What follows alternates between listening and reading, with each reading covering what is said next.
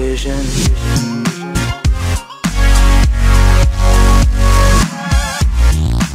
A Mexican drug dealer is getting a 20-year prison term for years of smuggling cocaine, marijuana and heroin into America.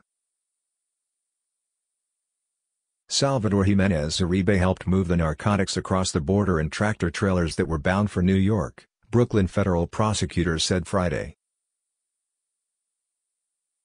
The feds also linked to Uribe, 52, to cocaine coming in from Ecuador that was hidden in banana boxes. The drug running took place between 2007 and 2015, according to court papers. Uribe funneled drug money through a Queens jewelry store, which sent the funds back to Mexico.